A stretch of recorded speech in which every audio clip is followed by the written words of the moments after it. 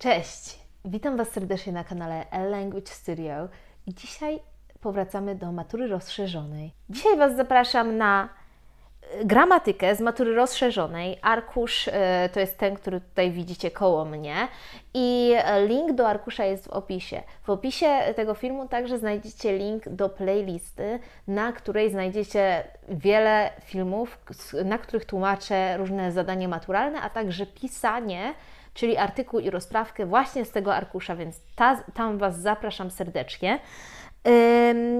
I nie przedłużając, zaczynajmy.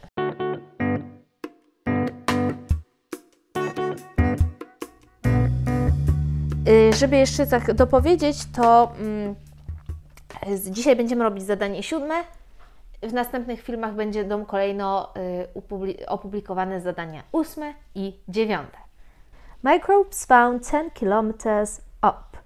Bacteria can get everywhere. Scientists in the US have even found bacteria high up in the atmosphere, a discovery that suggests the microbes could play a more role in our weather than was previously thought. Mamy tutaj frazę taką, kolokację play i zwykle e an important role, ale to important może zawsze być zmieniane na significant na przykład, albo key. Oczywiście wtedy to e się zmienia na e, y, n się zmienia na e.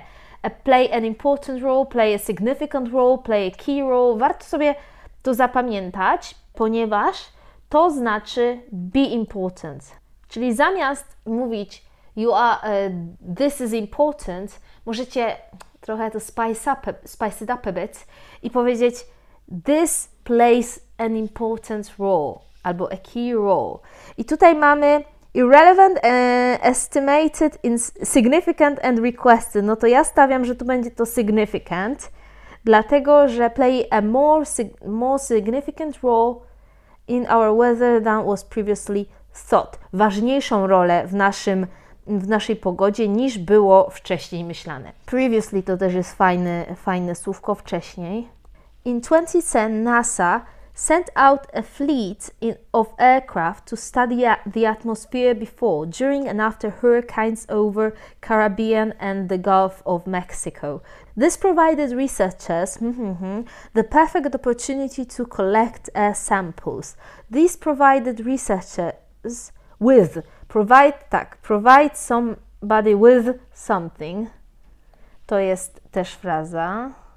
Zaopatrzyć kogoś w coś. This provided researchers with the perfect opportunity to collect air samples from, the, from what is known as the troposphere, the portion of the atmosphere around 8 to 10 kilometers above the Earth's surface. Analyzing the samples back in the lab, the researchers found 314 types of bacteria in total. Mm-hmm. Even more surprising was three. What was even more surprising was that was. What was even more surprising? Bo tu mamy tak, y, to, to jest cleft sentence, tak zwany clefting, taki rodzaj zdania. Tutaj y, robiąc clefting, czyli what was even more surprising was, chcemy podbudować y, napięcie, żeby nasz rozmówca spodziewał i wiedział, że się spodziewa czegoś ważnego, żeby usłyszeć, do usłyszenia.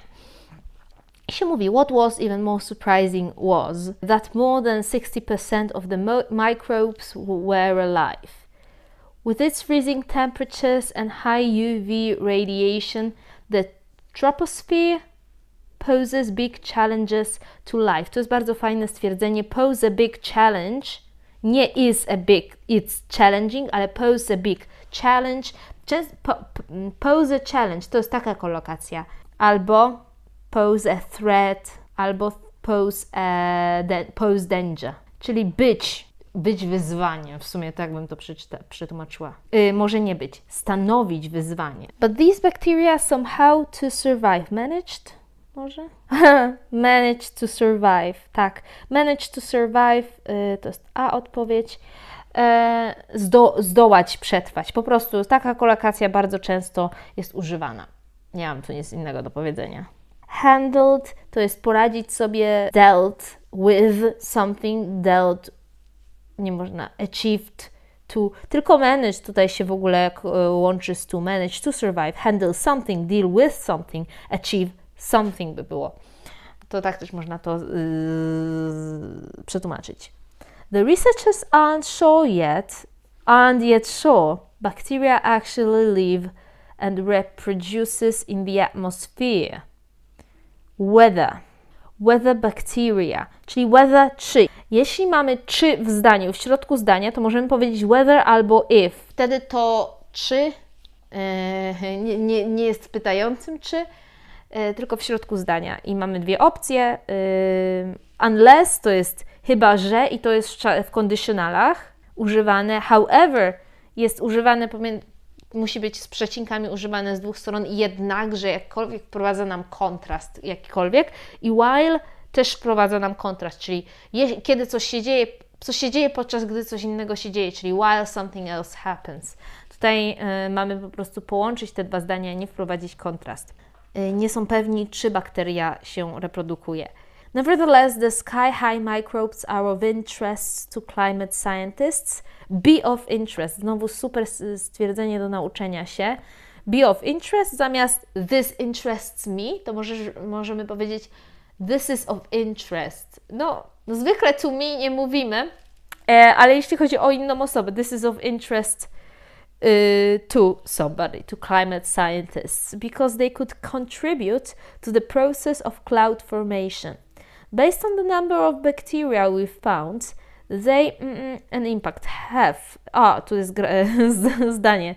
They mm, on the clouds up there, which could in turn have an effect on the earth. Are used to having impact? Na pewno nie.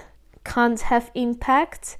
Nie, tutaj myślę, że nie będzie nic zaprzeczeniem, bo oni mówią, że one mogą mieć, tyle znaleźli tych bakterii, że one mogą mieć, e, mieć e, wpływ na to, co tam jest, e, which could in turn, co z kolei mogłoby wprowadzić, mieć efekt na coś innego.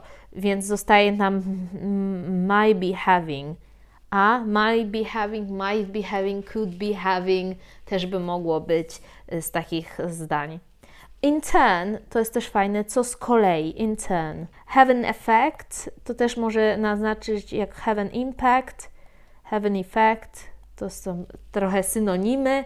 On the earth energy balance mm, in the not too distant future. I to jest kolokacja distant future, taka długa, daleka przyszłość, a tu jest not too distant, czyli w niedalekiej przyszłości. A jak chcecie jeszcze synonim do not too distant, to jest też takie fajne stwierdzenie foreseeable future, czyli niedaleka przyszłość. Says Professor A. Nins from the Georgia Institute of Technology.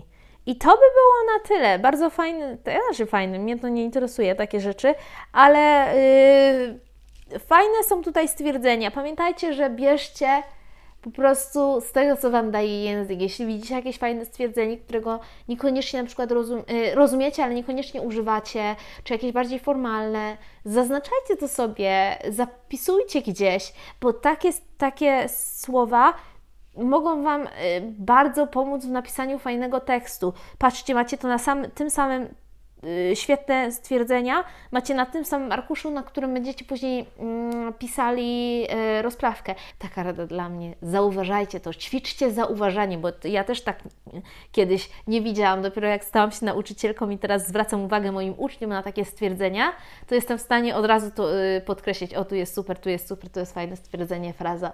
Więc możecie to wyćwiczyć i później korzystać z tego sami, pisząc matury.